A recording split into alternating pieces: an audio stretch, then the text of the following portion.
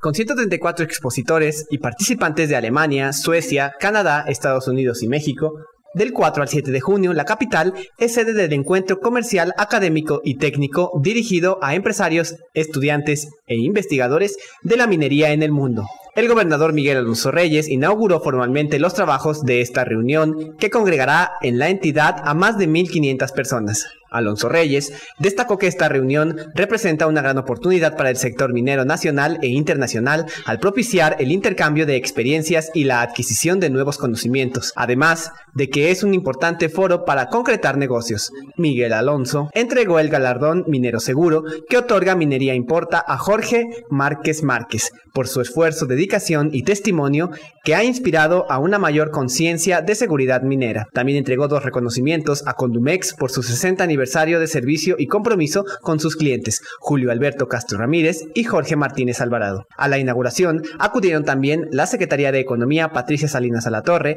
y la presidenta del Mining Task Force, Rosalind Wilson. Con imágenes de Abraham Robledo, México Explorer.